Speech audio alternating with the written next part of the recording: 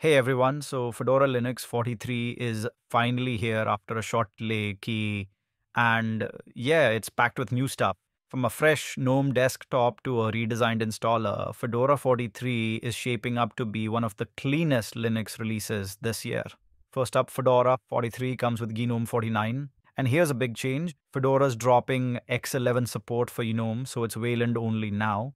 You'll still be able to run X11 apps but the desktop itself is all Wayland. There are also some nice updates, a new calendar app, HDR wallpapers, media controls on the lock screen, and a couple of app swaps. Showtime replaces Totem and Papers replaces Evince. Next, the installation experience gets a major upgrade.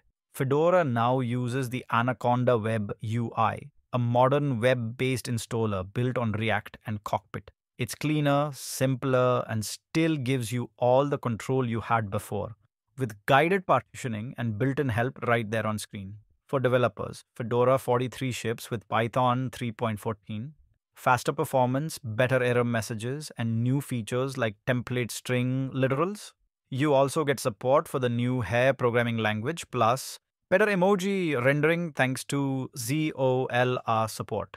And yeah, a few smaller changes too like a larger 2 gigabyte boot partition and automatic updates on um, Fedora Kinoite.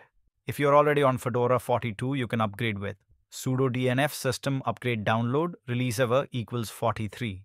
So that's Fedora 43 in a nutshell, fast, modern, and cleaner than ever. If you found this helpful, hit like, subscribe, and I'll see you in the next one.